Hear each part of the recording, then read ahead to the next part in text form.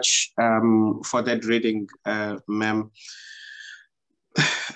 The, the resurrection of Jesus Christ, we must be very clear. The resurrection of Jesus Christ is the foundation of our faith. Hear me very well and understand me.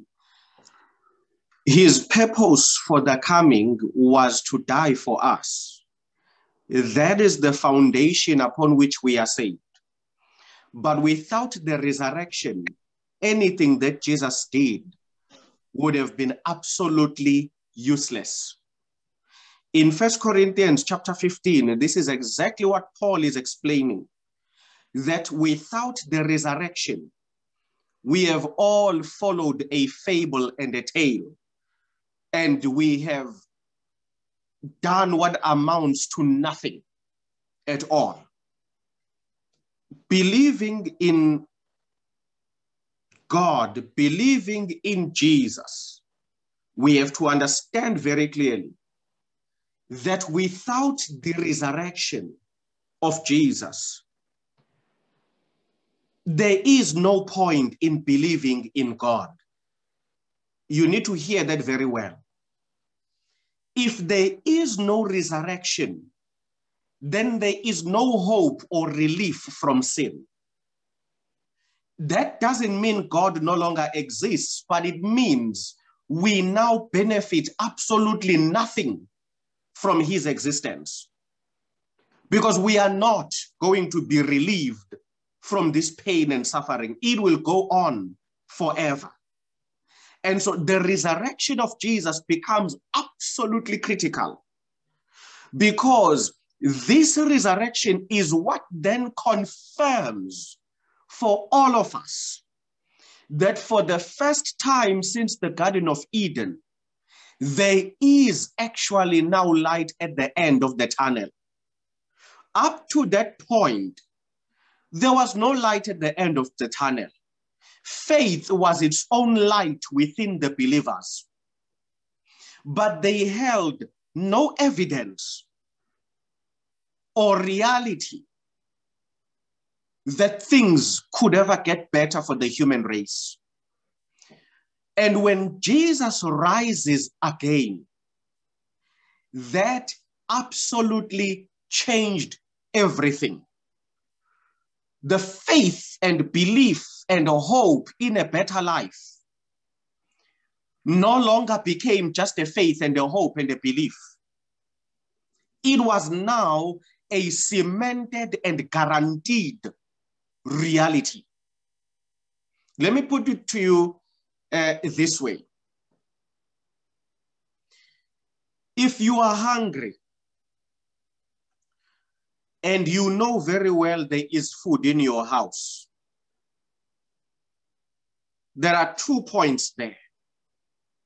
There's you being hungry and you are away from the house, and there's your knowledge that in the house there is food. But if all your means to get to the food were taken away. You could not reach the house in order to eat. Your knowledge that there is food in the house would not only be useless, but it would amount to some form of torture because you would be intellectually aware of a fact that is not going to be reality in any way, shape, or form. The knowledge of God, the knowledge of the scriptures, the knowledge of what he did, the knowledge of Jesus, none of it would have held value had Christ not resurrected to know there is a God would merely be information for torture because we would be aware that that God can do nothing to relieve us from what we are going through. To know that there is a heaven would have been nothing more than torturous information because the existence of those heavens creates no paradise of our own. To know that God is the Almighty who created everything in the beginning would have merely been a historical fact of no purpose, since he is in no position to create a new life for us. This is why it is so important to understand that the resurrection of Jesus is where everything that is written from Genesis all the way to Revelation chapter 22 is then able to happen. With the resurrection of Jesus, all the actions of God in the Bible are justified. When Jesus rose again, every questionable decision God had made, every ounce of choice that he has been questioned for was justified. From why he permitted sin to why he allowed for wars, why he called for the Israelites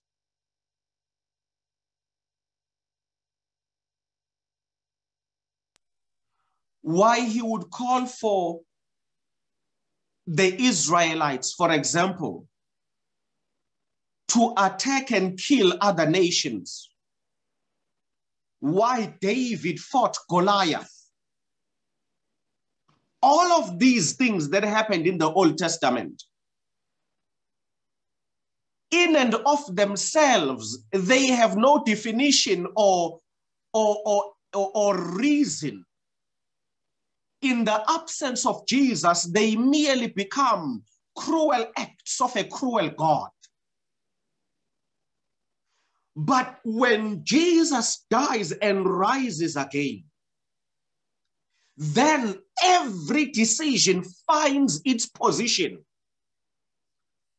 In the plan of grace designed to save all nations while at the same time unfolding itself within the complexities of the great controversy of the choices of those nations. The wars, the deaths, the hundreds of thousands, certainly millions of animals sacrificed under the Jewish uh, uh, uh, tabernacle system all of it. The prophets, the prophecies, the exiles, the Daniels and the Jeremiahs, the rebuilding of the temples, the Queen of Sheba, the Sodom and Gomorrah, the Abrahams, the justification by faith, the Moseses and the Ten Commandments, all of it. It would have been great historical events. But had Jesus not risen, none of them would have found their proper place in history. Because all of them, every single story in the Bible, and I mean that when I said every single story in the Bible, including those chapters about genealogies, where one thinks, what on earth would I learn from this story? every story in the Bible, they were all, all of them were pieces of a puzzle in the masterpiece painting of grace. All of them. The wars, the death, the David and the Goliaths, and the battles with the Amalekites, and the Gideons, and the Samsons, and the Delilahs, all of it, in and of itself, has no meaning or purpose, but every single story, it had something to say about the unfolding plan of redemption. On their own, none of these stories possess any reason to be treated with divine respect. In the absence of the cross and the resurrection, they are nothing more than mere novels of the Middle East. In the absence of the cross and the resurrection of Jesus, they are no different to the epic of Gilgamesh and any other ancient tale of the history of the world.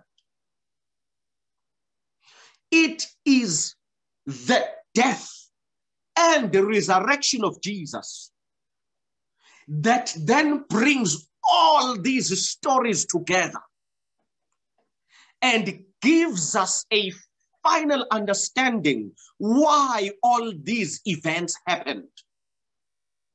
All of them, all of them were building to a particular point. You see, if you've never had known the book of Matthew to Luke, which had to only exist because Jesus existed and rose again, you would have never known what is the significance of the story of Rahab and Joshua. The story of Rahab and Joshua means nothing if Jesus doesn't rise again. But when Jesus rises again, Rahab becomes a key figure in God building a lineage for his own birth on earth. If Jesus does not rise again and dies like any other human being, Ruth and Boaz have no purpose. David and Goliath have no significance. The dedicated sanctuary of Solomon has no holiness. But because Jesus died, and more importantly, because he rose from the dead, we now get a panoramic view of the whole Old Testament. And suddenly, all the stories make sense. Suddenly, it makes sense why God said to Manoah and his wife that the child she will conceive shall be called a Nazarene. He shall eat no unclean food and shall not shave his head. Suddenly, the order of the holy Nazarenes makes sense when a Nazarene called Jesus is born and dies and rises again. But had that Nazarene not been born, it was futile to tell us the story of a Nazarene called Samson. If Jesus did not rise from the dead, the story of Uzzah, who died when he touched the ark, would have been nothing more than a mere story of cruelty. But when Jesus is born and is crucified, when what is holy dies, rather than killing what is sinful, you've got to understand that. When in Jesus, the Holy God dies in order to save a sinner rather than the sinner dying because they've touched the holy thing. In Jesus, the holy finally rescues the sinful. And suddenly, Uzzah is not meaningless. Uzzah becomes a critical figure in telling the story of the majesty of God. That this God, so holy, that not even to touch him, just to touch his things kills. The very same God would have people touch the hem of his garment one day, and they will no longer die, but they will live. Without Jesus, without his resurrection, this, this would have been a novel. Nothing more. There would have been no ounce of holiness in it. There would have been no divine instruction in these words.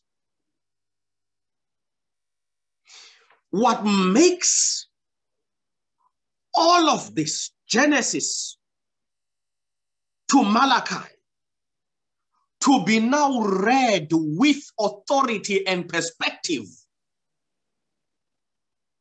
is that Christ fulfilled all of it in him. And when he rose again, he gave all of it meaning because all of it had been testifying about him.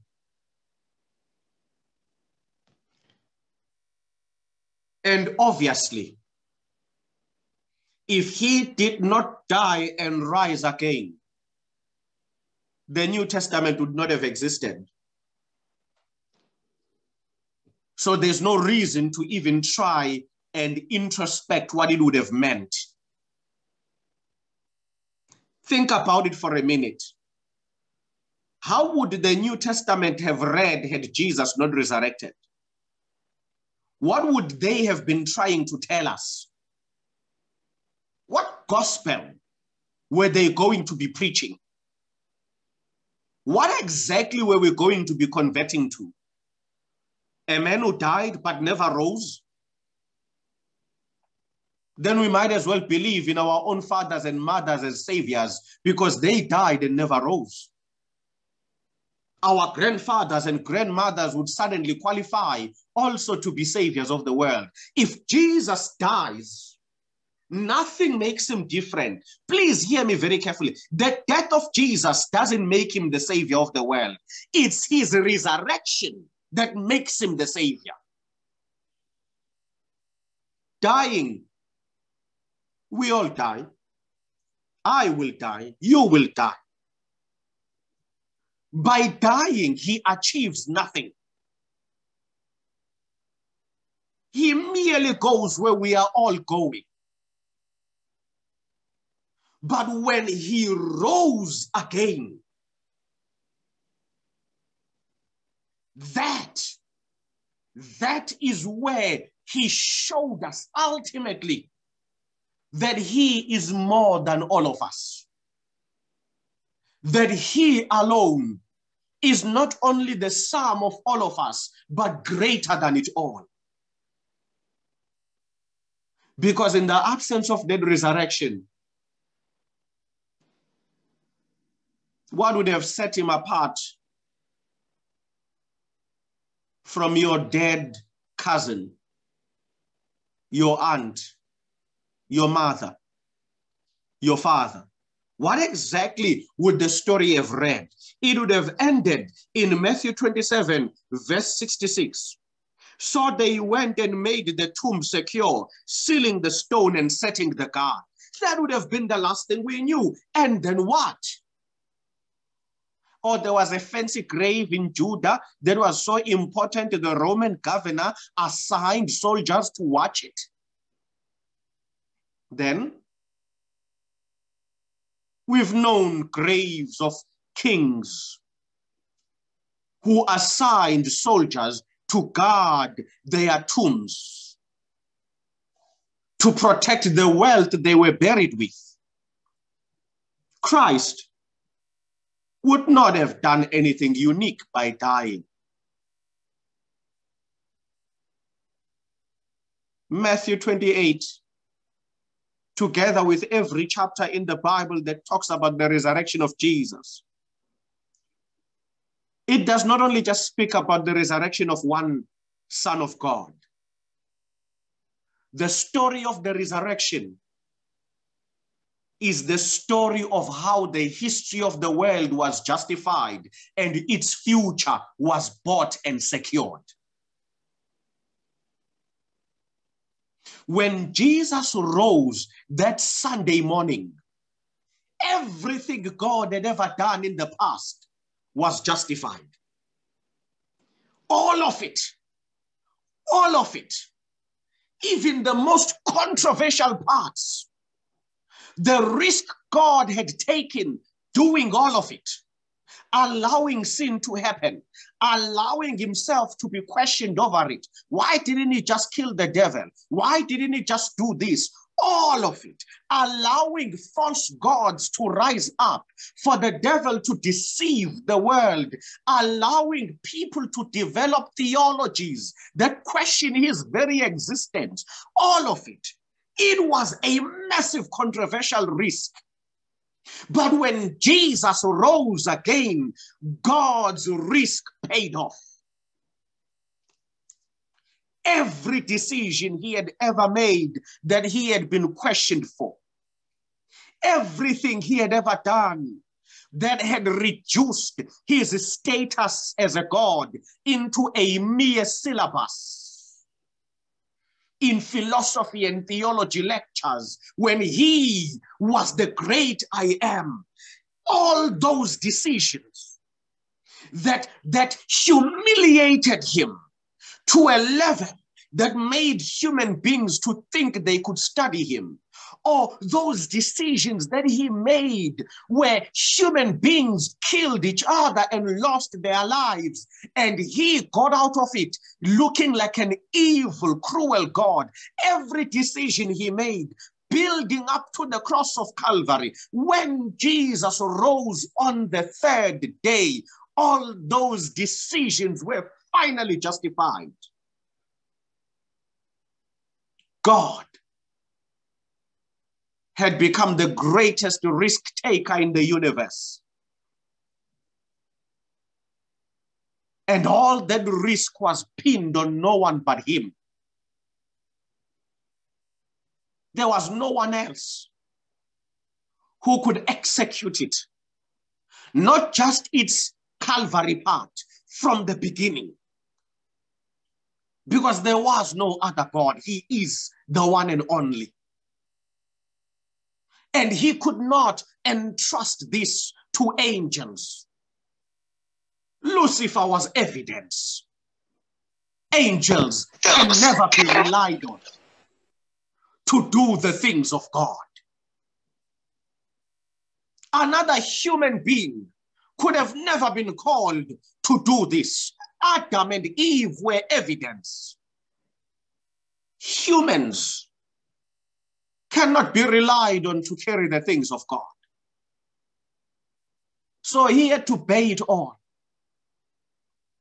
Each cross he did not just bear on that road, on that Via Dolorosa that day. The cross of our salvation he bore before he made us.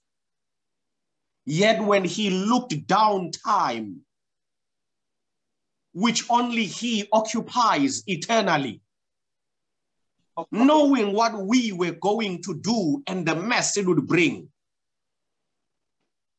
he still considered creating Lucifer worth it. He still considered creating the universe worth it and he bore its cross even to Calvary. All of it relied on one moment. He didn't need many. He needed that one second that would change the future of the universe when Jesus would, with his own lungs, the lungs that were suffocating at the cross, filling up with fluid, dying. Those lungs, they needed to draw breath. Not two times, not three. One breath was needed. If he could draw just one breath, then everything God had ever done was worth it. And God, from that moment, could tell us the future. Because that breath would have secured that future. The resurrection of Jesus is more than just his resurrection. It's the resurrection of the universe. Everything rose with him that day. The future rose with him. Eternity rose with him. Assurance that sin will never rule again rose with him. When Jesus rose, it is not just the resurrection that happened that day. That resurrection was also the final death of some things. That resurrection was the death of sin. That resurrection was the death of suffering. That resurrection was the death of death itself.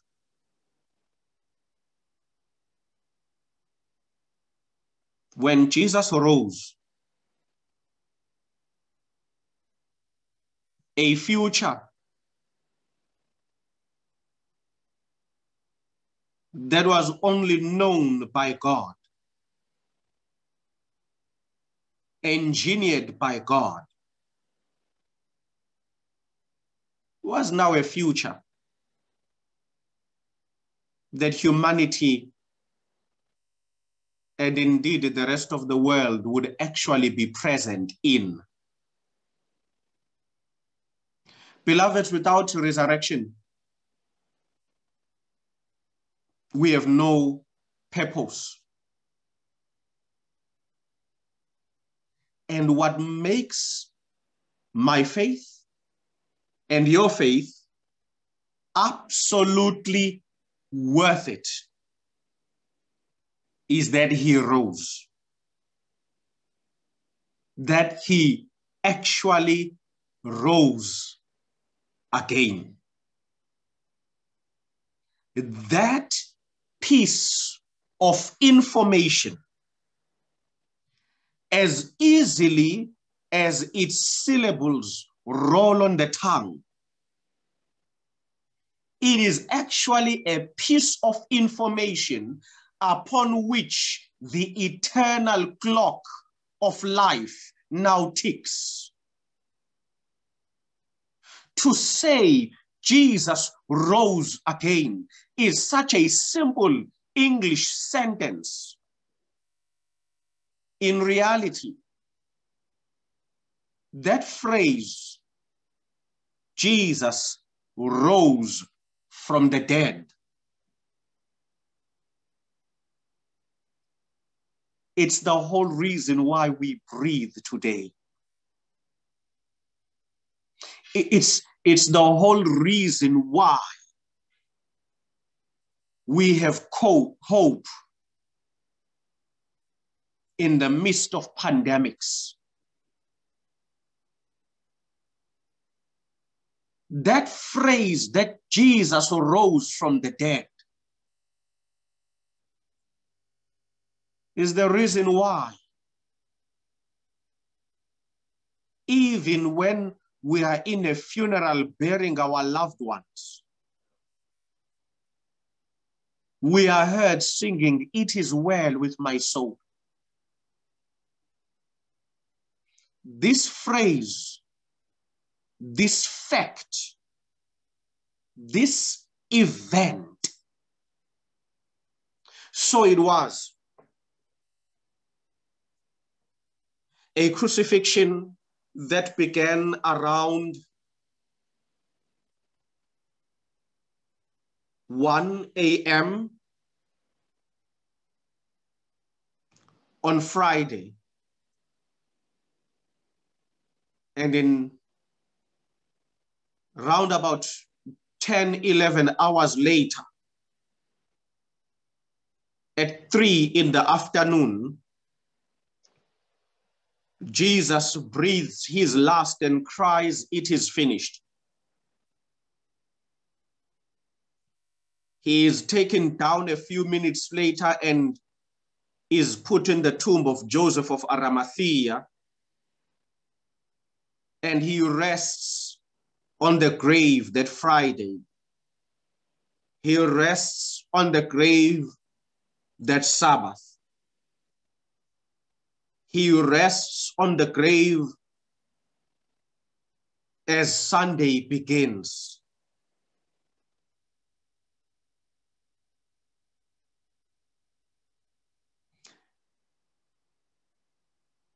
And somewhere in the early hours,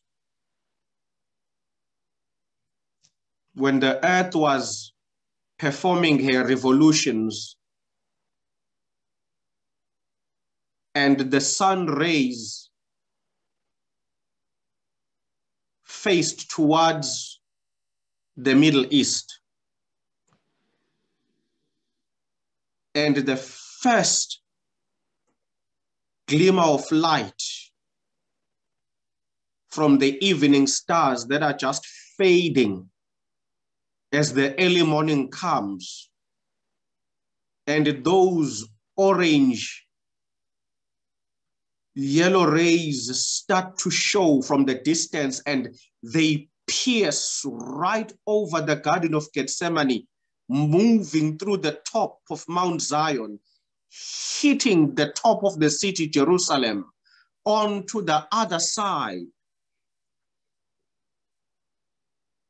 In a plantation where the graves of the rich and affluent were, on the limestone graves, and there was the grave of Joseph of Arimathea, sealed with a massive rock. An angel pierces through the sky like lightning, rolls the stone. Jesus walks out. He's not carried out. He walks out. Bleeding, wounded. He has wounds on his hands. He has a gaping wound on his side. a miracle has happened. He is back to life. He carries the wounds of death.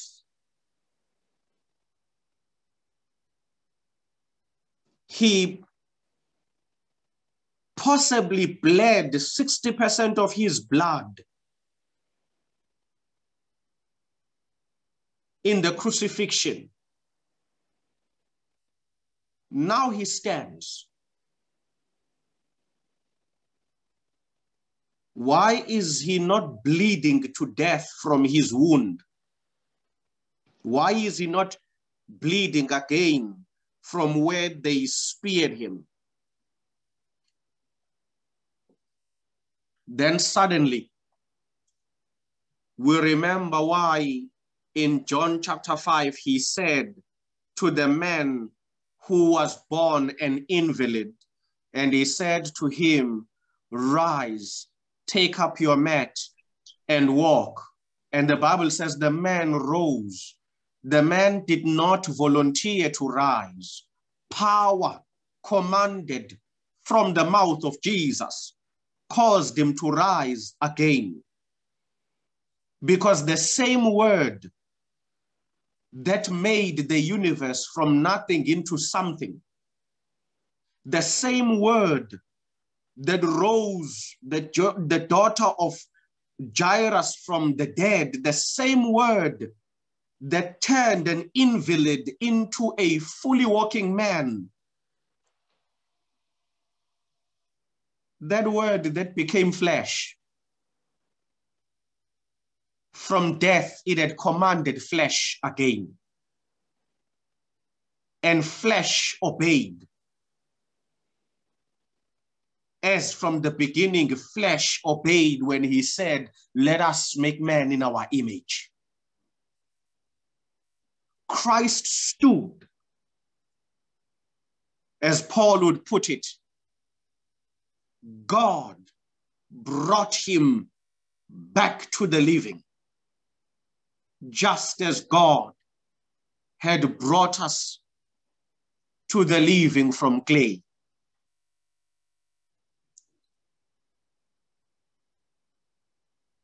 And every other resurrection that had ever taken place in the Bible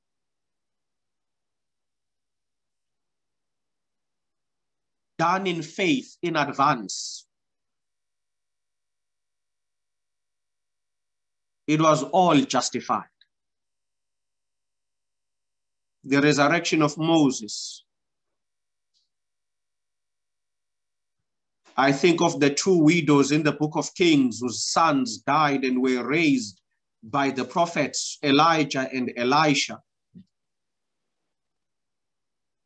The man who was being buried, and when his bones were thrown into the bones of Elisha, he rose again.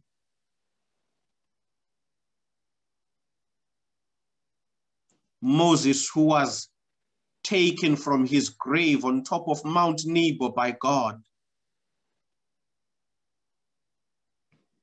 All of them,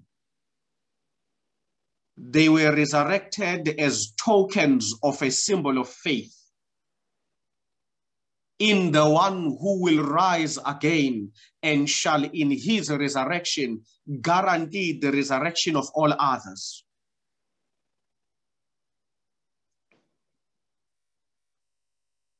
Let me be very clear beyond any possible reasonable doubt. Christ rose from the dead. There is no shadow of a doubt. He lives. And as the singers Bill and Gloria Gaither put it very well in their song. Because he lives, we can face tomorrow. Because he lives, all fear is gone. Our children can face uncertain days precisely because he lives. We can still plan for the future in the midst of COVID. We study and we look forward to graduating, knowing very well there is COVID. We are getting married in the midst of COVID. We, we are applying for new jobs. We are starting new businesses.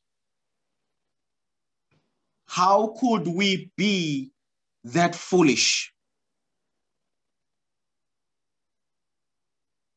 When death is such a guarantee,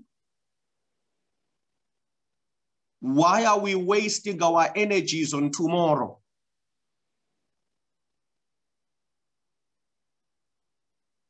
When COVID says there's a high probability I'll take you out. We look at death in the face every day with our knowledge that Jesus lives. when we plan for tomorrow, it is our act of defiance on death to say to death, lest you forget, he lives. And because he lives, all tomorrow and its possibilities belongs to us. And because he lives, you killing us no longer makes our lives lives that we are afraid to live. We know now we are going to die. But that knowledge is a drop in the ocean compared to the knowledge that then after, in the twinkling of an eye, with the sound of the archangel's trumpet, we will live again. And that life will never be taken away because he lives. He lives. And the knowledge that he lives, even before he had come to die, that knowledge was already changing how people were living their lives even before he came to die. The prophecy that after his death he would live again, that was enough to make Job face death and poverty and sickness and abandonment and say to all of it, I know that my Redeemer lives. It is a powerful thing to know that Jesus lives, especially for those of us who live after he died and rose again. If the knowledge that he would live was so powerful that it shaped Job's resistance at the face of an attack, even before Jesus was born, how much more should that knowledge fuel our defiance against the arrogance and the evil of sin? The knowledge that Christ would live is the same knowledge as Paul tells us that when, when Abraham was on top of Mount Moriah, when he had almost killed Isaac and the angel stopped him. And for us, that is where the story ends. But Paul says the story didn't end there. Because Abraham had trusted God, God then revealed to him the meaning of everything why he had asked him to come to Mount Moriah to sacrifice Isaac. Then God showed Moses the cross of Calvary, where Christ would die, where God would offer his one and only son. But unlike Abraham, no one would stop God. His son would die. Then, when God showed Abraham the resurrection that God himself expected to fulfill by faith in himself, when Abraham saw that resurrection, then he saw the second coming of Jesus. He saw the end of sin. He saw the end of death and suffering. Then he went down that mountain and he ran home with the servants and his son. And when he got home, this multimillionaire of, of, of a trader from the Middle East who was still preparing to build himself a mansion, he came home and he took the architect's plans and the builder's plans and he tore all of them. And when the wife said, Why are you tearing the plans of our dream home? And he replied, I have beheld a city whose maker and builder is God Himself. And because I saw Him die and rise again, I no longer want any city in this world. I am aiming for that city that will be built on the foundation of his resurrection. The resurrection of Jesus does not just transform the lives of those living today. It was the engine and the power that fueled those who lived even before he was born.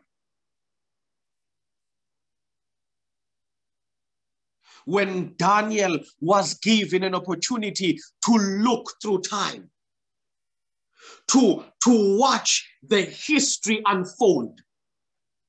And when Daniel looked through history and he saw the crucifixion of Jesus and he thought, could this be the end? And then he was shown a vision in Daniel 7 and the thrones were set and he beheld what John would see in Revelation 5, he saw the lion of the tribe of Judah entering the heavenly courts, having died for mankind and risen again. This very Daniel,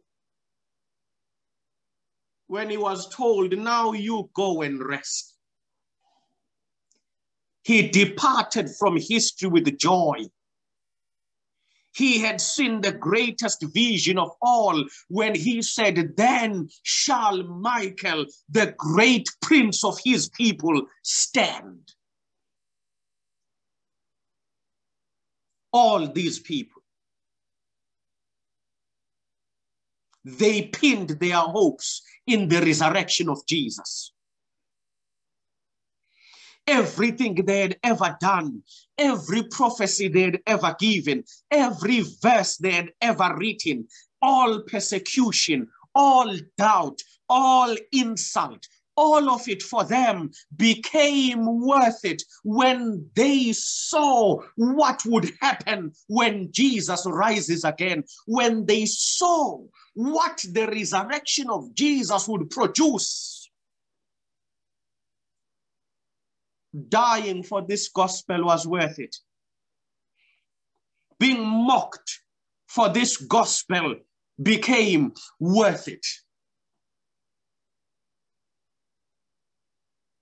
Being poor for the gospel became worth it to them.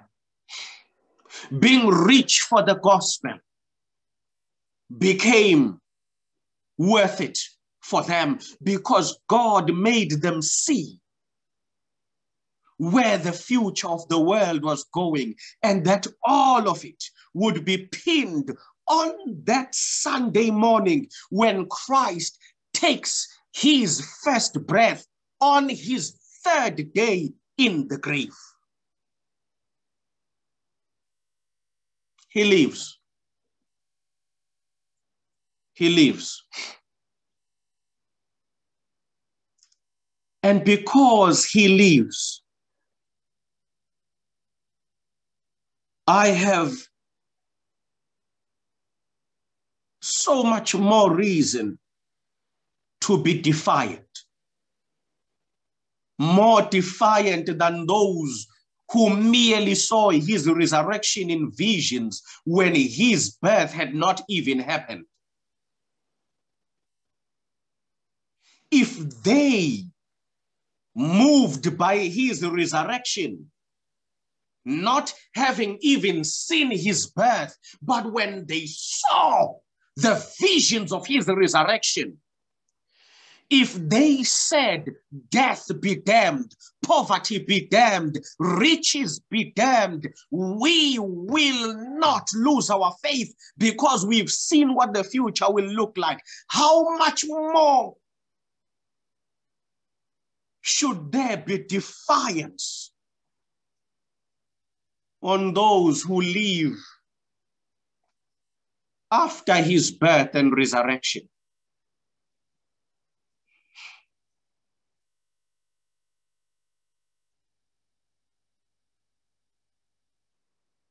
When, when Abraham first saw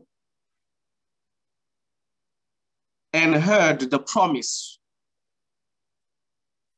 of a son that would make him the father of nations.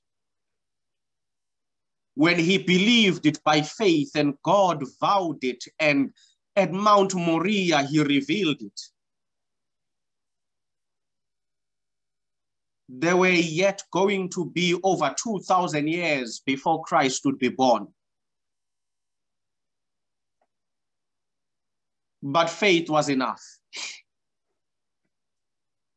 It was enough to make Abraham cross those 2,000 years in one day.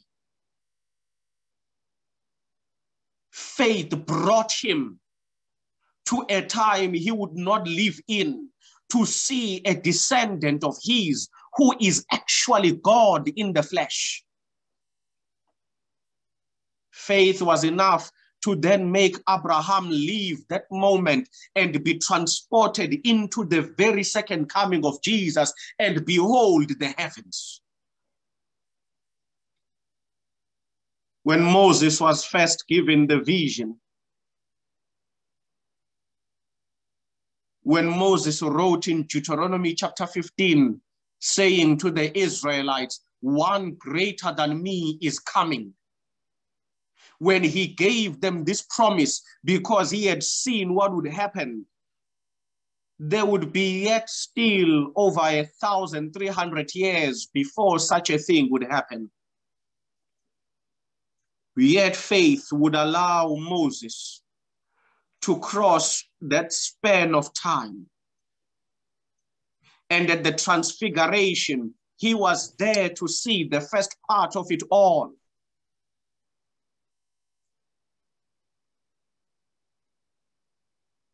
We are not the first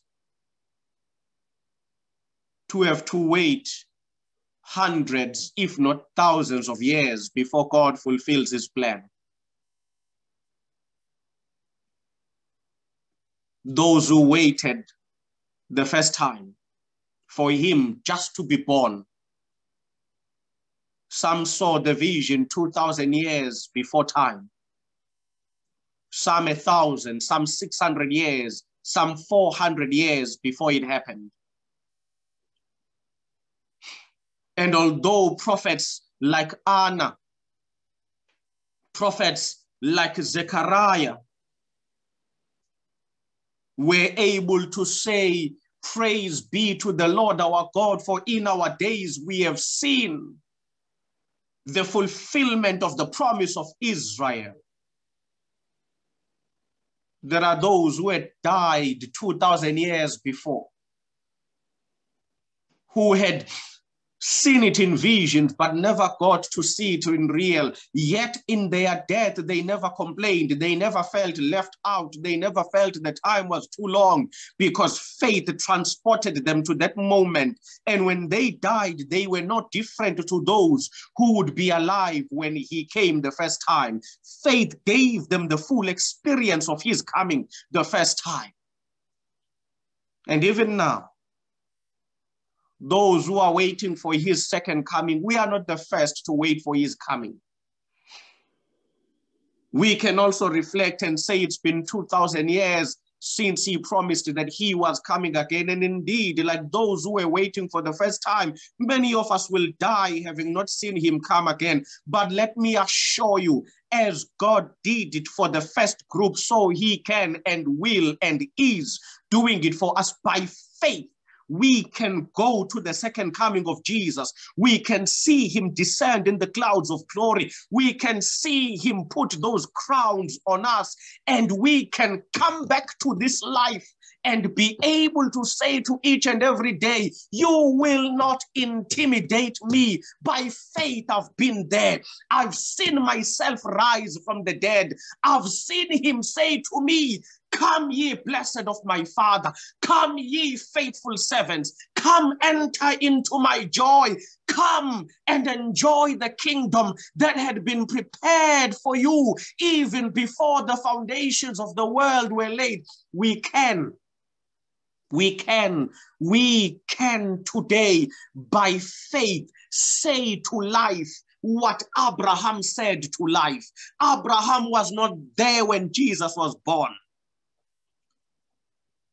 But the man lived like he and Jesus lived at the same time. Because faith, faith took what would happen in the future and brought it into his life at that moment. And Abraham no longer lived as one who died before the promise was fulfilled. Moses no longer lived as one who died before the promise was fulfilled. David, having been told that one of his descendants will one day say to my Lord, Sit here while I prepare a place for your Lord. When David understood this, he no longer lived as one who would be unfortunate and die before the Messiah comes. All of them, faith gave them access to the coming of the Messiah. And they no longer feared life because they knew what Jesus would do for them. Don't be afraid. Let faith take you to his uh, second coming because he has risen again. This life has nothing to steal from us anymore. Our resurrection is guaranteed in him. Let's pray. Father, I thank you that tomorrow no longer has troubles over us because you live. Take us through faith transport us to our resurrection and your second coming. Let us live every day as those who will no longer be intimidated because you live. We thank you for what you did. We thank you for what it means for us today. And we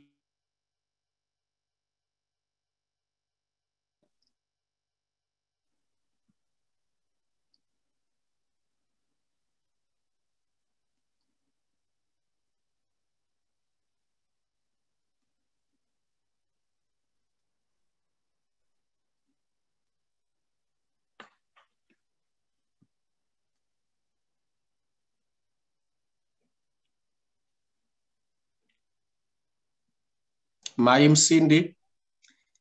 Yes, you had um, gone quiet, Pastor. I think uh, when your screen went blank, you went quiet. We couldn't hear you. All right. It was just at that prayer part. I have finished power cut off as I was praying. So the oh. device, the devices had to move from the house Wi-Fi to the data. That is why it cut off, but I was done. Okay. Uh, what does the church say? Because Amen. He lives, we can face tomorrow. Yes, Amen. because he lives. And to close off, uh, we'll close with this song. And then one day we'll cross that river and fight lies far in our war with pain. And then as death gives way to victory, I'll see the lights of glory and I'll know he reigns because he lives. I mm-hmm. can face tomorrow because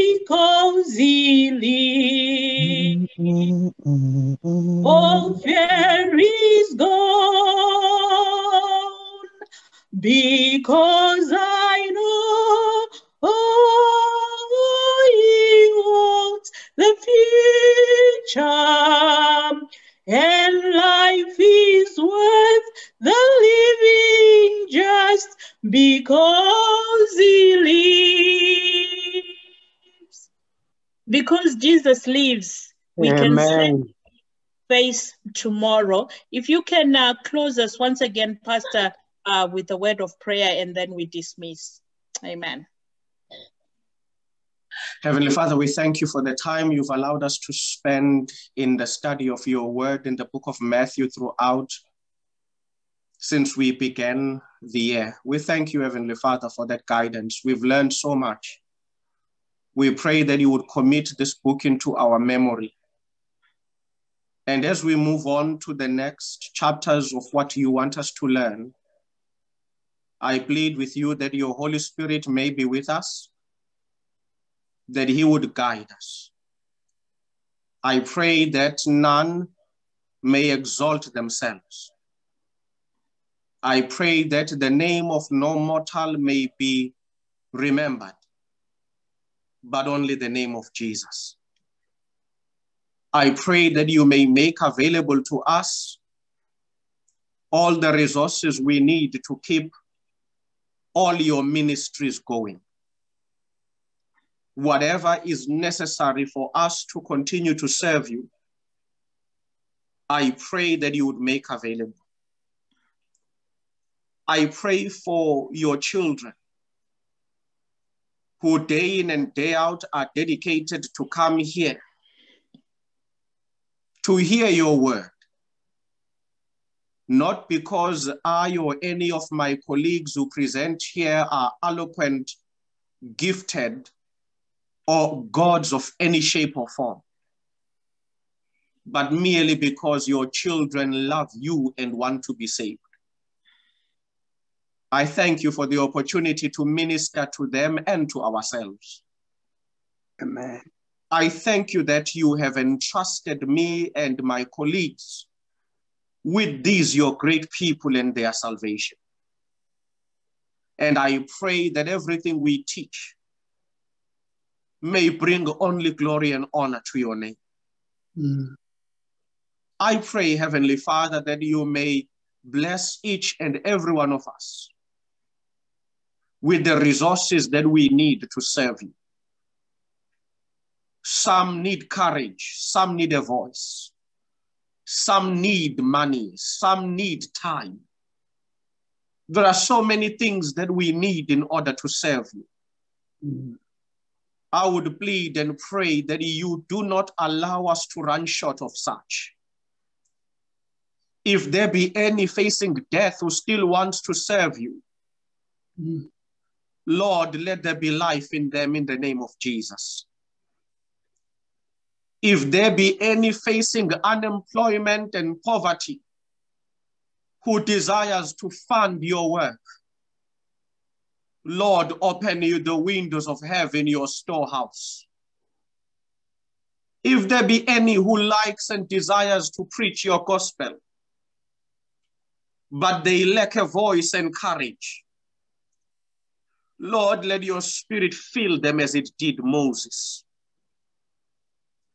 If there be any who is impatient with you and feels that you are taking too long, give them the faith and the patience you granted Sarah to patiently wait upon you till you release the power. I pray, Heavenly Father, that you may bless each and every member of this group. I pray for their families. I pray that the struggles they face may never take them away from you. I pray that you may protect our wives, our children, and husbands. I pray that, Heavenly Father, in you when our family members have found no joy in us, let them still find joy in you. I pray, Heavenly Father, that the evil one may not prevail against your church. I pray, Heavenly Father, that your church may stand solid and firm in the mission you've given it of the Advent message that this gospel may be preached to all the ends of the world for you to come. As your servant David prayed, I ask that you do not make us poor that we question whether you are really there. Neither make us so rich and so gluttonous that we forget that all things come through you. Hmm. I ask, Heavenly Father, that your Holy Spirit may always be among us. I ask that your Holy Spirit may fill my home, fill me and my family. That your Holy Spirit may move within, without, and hover in everything that we've got. And I pray this not only for me, but it is a worthy gift that it be done for all of us. I pray, Heavenly Father, that where you, by your wisdom, have allowed the evil one to touch their finances, now heal and repair. Where you have allowed the evil one to touch their health, now restore where you have allowed by your wisdom that we should be tested when our relationships are shaken. Now bring trust, forgiveness, and healing. I pray, Heavenly Father, that where we lack comfort, be our comforter. Where we have turned to drugs and alcohol and pornographic addictions, now bring deliverance and turn us to you. I pray, Heavenly Father, that the love of your word may always be in us.